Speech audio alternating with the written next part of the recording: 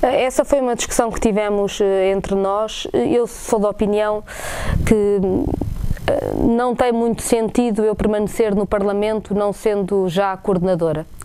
Acho que, e também porque já são muitos anos de Parlamento, eh, percebo também que temos uma série de dossiês neste momento em mãos, que o equilíbrio não, não é fácil, e o que decidimos foi que eu ficarei até ao final desta sessão legislativa, o que quer dizer que enquanto o Pedro Filipe Soares estará na Comissão de Inquérito da TAP, eu estarei na Comissão Eventual de Revisão Constitucional, mas no fim desta sessão legislativa vou sair, e enfim, o José Soeiro, que entretanto tem estado a acabar um trabalho académico, vai voltar ao Parlamento e portanto sei que ficaremos com o grupo parlamentar muito forte.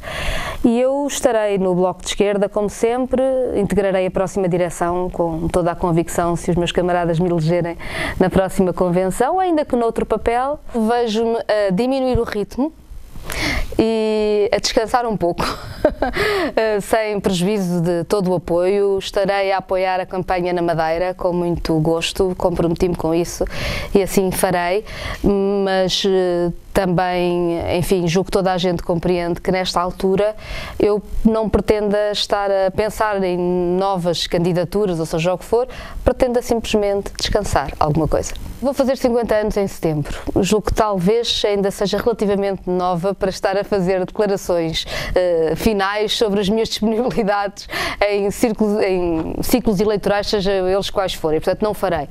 Mas sei que neste momento, depois de mais de uma década de uma de um ritmo muito intenso e de uma exposição que também foi intensa, preciso de ter um outro ritmo, de entrar numa época diferente de intervenção.